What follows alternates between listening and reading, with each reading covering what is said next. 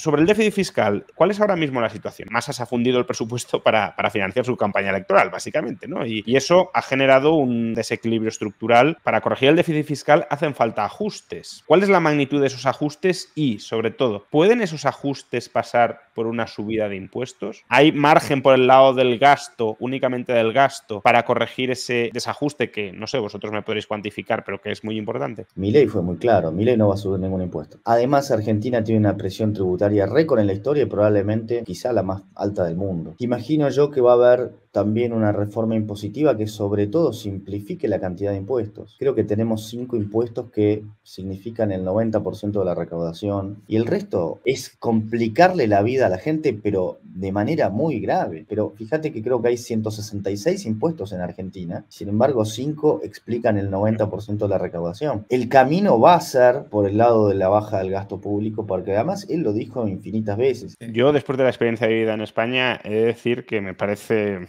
lo acertado. Que, lo que no se haga en los primeros 100 días, creo que ya no se va a hacer. Los CDS de Argentina están en nivel de default. El mercado está descontando ya un default. Mínimo nos vamos a tener que reunir con los acreedores y vamos a tener que les que decir. ayer Milei estaba diciendo explícitamente vamos a cumplir con todos los compromisos. Estaba dando un mensaje de tranquilidad, pero claro, la tranquilidad se te acaba rápido cuando ves que de dónde vas a pagar. Tampoco hay magia financiera aquí. Entonces, el mercado está descontando evento de crédito, el que sea, aunque solo sea una reestructuración de pagos. Luego, otro punto importantísimo, creo, y como analista quizá monetario, permitirme el lujo de quizá hablar aquí delante de los argentinos, el déficit fiscal de Argentina lo podrías separar entre el fiscal y el cuasi fiscal, ¿verdad? Entonces, y el cuasi fiscal es gigantesco, es una cosa como un 10% del PIB.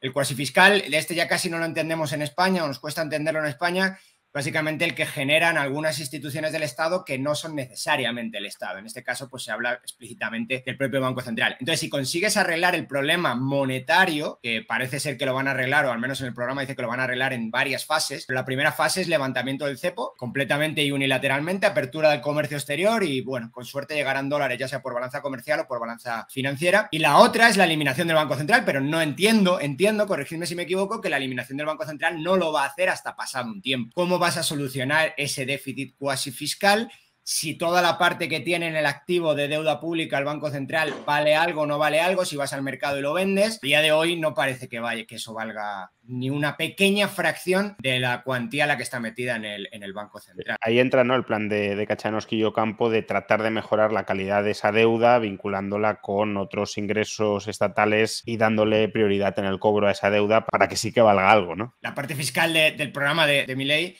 es la de primero achicamos el Estado donde podamos hacerlo, gasto de, pues, de subvenciones sindicales también, toda esa parte, según parece, lo va a achicar bastante, y después los gastos que ya no hay a la estabilización monetaria. No conozco cuál es eh, la distribución del gasto en Argentina, pero por trazar un paralelismo con España en 2012, el problema probablemente no era tan grave, aunque la magnitud del déficit sí era muy importante. Aquí también se habló mucho de, no subir impuestos y de solucionar el déficit público recortando gastos a los sindicatos, a los partidos políticos. Al final hubo que meter mano en gastos que se consideraban fundamentales o intocables, como por ejemplo sanidad, educación, sueldo de los empleados públicos. ¿Hasta qué punto esto va a ser necesario en Argentina? Me reía porque miraba hace, hace bastante tiempo eh, Milei junto con, no sé si Giacomini, no sé si estaba Miguel, eh, Miguel, Miguel también en este canto. ¿Te acordás que cantaban una canción que era y gastar, y gastar, y gastar, y gastar? Esa es nuestra regla fiscal. No sé, les había dado por armar esa canción.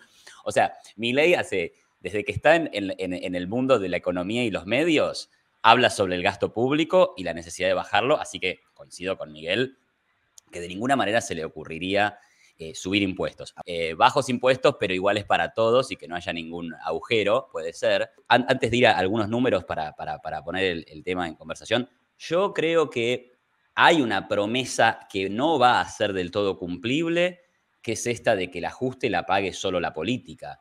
Eh, a ver, yo ahí, ahí, ahí aporto un dato, ¿no? Digamos, en este último tiempo, desde que el kirchnerismo está en el poder, el 67% del aumento del gasto, o sea, el 67% del aumento del gasto, que básicamente el gasto se duplicó en términos del PBI, gasto social. Y el 34% está en gasto de, las, de la seguridad social, o sea, las pensiones y demás. Eh, después tenés algo de salud, algo de asistencialismo, que no, no es tan representativo, y hay un 30% que son los subsidios económicos. Los subsidios económicos, bueno, básicamente que a la gente le hemos dado el transporte público, las tarifas de, luz, o sea, el, gasto en energía, el gasto en agua, el gasto en gas de red, se lo hemos dado a precios ridículamente bajos por controles de precios y para que las empresas no se vayan del país o no cierren definitivamente, se les ha tenido que subsidiar. Mi ley tiene una propuesta que a mí no me termina de quedar del todo clara, en donde dice que él va a eliminar los subsidios económicos, pero sin que eso se traduzca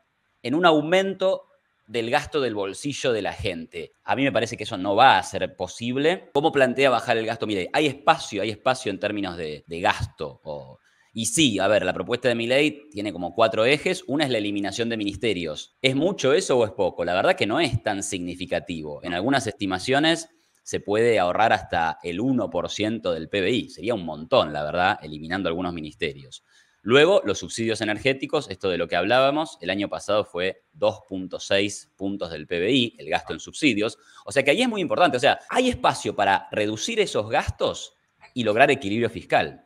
Porque la Argentina hoy está pasada en términos fiscales, había comprometido con el fondo una meta del 1,9 y al, al mes de octubre estamos en 1,7, o sea, nos vamos a terminar pasando una vez que termine el año.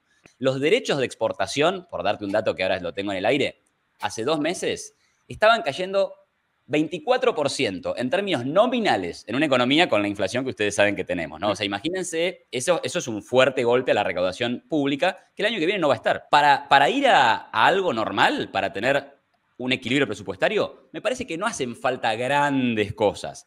Ahora, para cumplir las expectativas de mi ley, que dijo que iba a reducir el gasto en 15 puntos del PBI, me parece que ahí sí. O sea, eso es una reforma importantísima y que no es solo eh, los choferes de los diputados, o sea, exige mucho más esfuerzo.